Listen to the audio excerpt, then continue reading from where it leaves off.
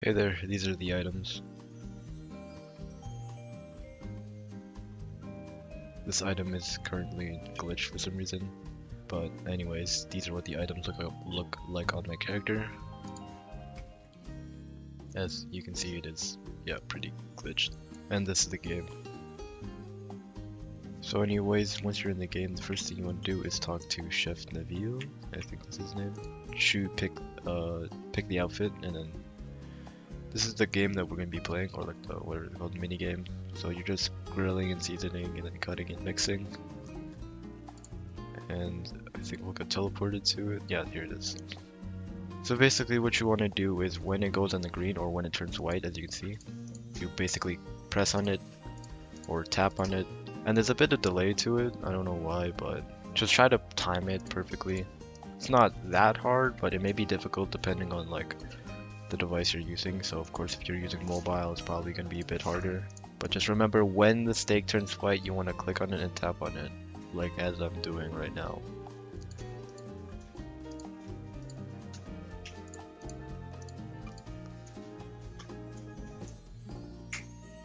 After you've done that, this one is a bit, you have to time it as well. So whenever your knife goes over the green line, so like this, you want to time it so you slice it correctly. So like this, so it went over the green, you just tap or click.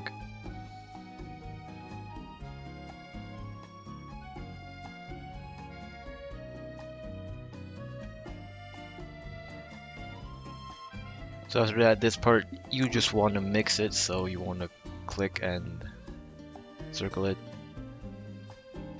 Or, oh okay, all you're doing is just holding it that's it. You just, you know, hold your tap or whatever. I don't really know how to explain that, I'm sorry. But after that, he'll say you'll have to try it for some reason. I don't know why. Eating a customer's food. But anyways, your character will do whatever this is and you will earn money and whatever. And you can actually see the virtual items that you unlocked. So now that you're now you can be able to get them. So after you've done that, uh, let me just skip this.